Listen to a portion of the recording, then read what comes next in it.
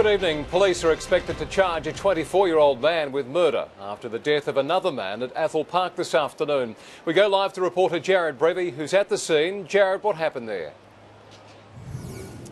Well, Brenton, we understand there's been some sort of fight at the home here on Glenroy Street, during which a 45 year old man has been stabbed to death. Someone inside the home called police at around 2 this afternoon. They quickly cordoned off the area before the 45 year old's bloodied body was found inside the house. A knife believed to be the murder weapon has been seized, and a possible witness to the alleged murder is being interviewed. But a 24 year old man also found in the home has been taken into custody. Police spoke a short time ago about that arrest. This person has been conveyed to hospital and uh, is currently being treated for non-life threatening injuries. Uh, police will be charging that person with murder. Police are not looking for any further suspects at this stage.